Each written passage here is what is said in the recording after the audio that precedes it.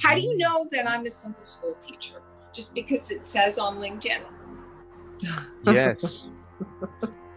yes. Do I look it?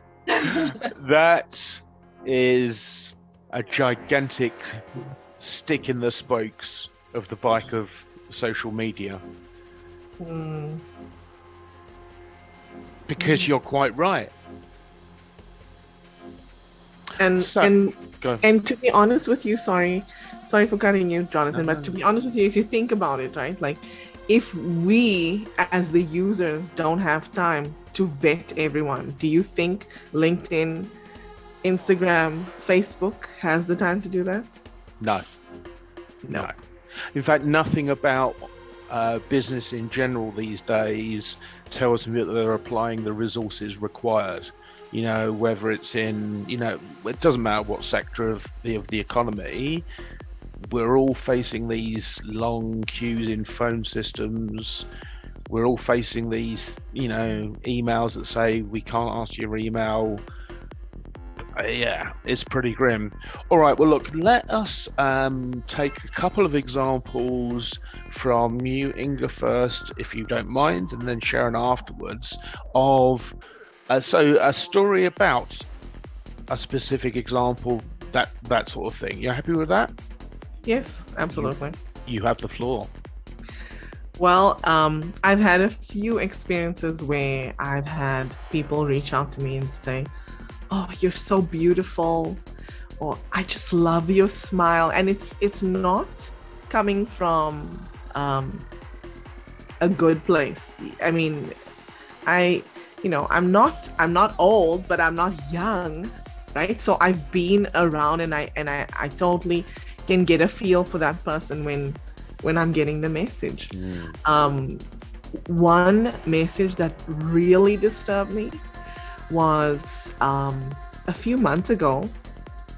I posted, I posted about um, myself and my daughters, and I received a message from somebody saying, "Inga, you and your three daughters are mine." And I thought, oh my word. You know, that was extremely disturbing. And of course, I, I reported and blocked them.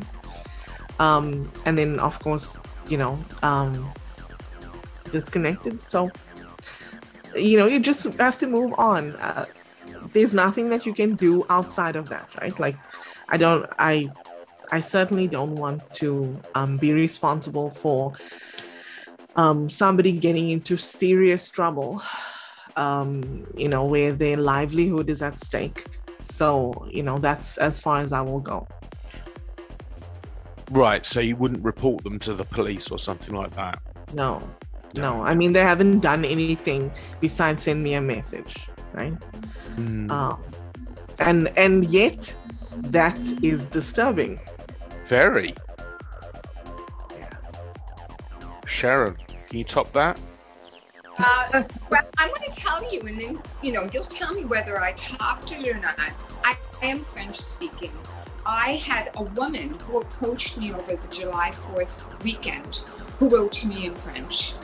And she claimed that she was something in the French embassy, a title, like she was very creative with her title. Then that's a red light. When your title becomes so superfluous, you know that that's not the title. And she commented on, and again, the picture that you see me on LinkedIn, my son in law put this picture on maybe 10 years ago. It is a very simple picture. There is nothing suggestive about this picture. And she commented on my eyes and my smile. And then she proceeded to tell me all of the things that she wanted to do to me in French. And I that's the kind of thing you never respond to.